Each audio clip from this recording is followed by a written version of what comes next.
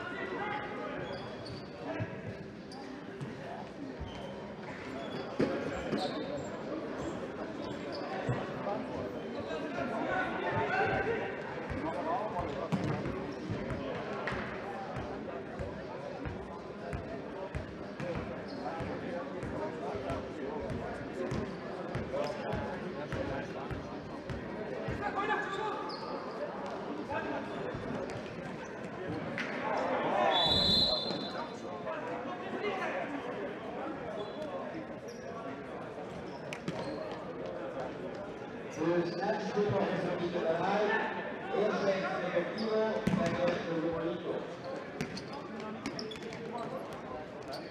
al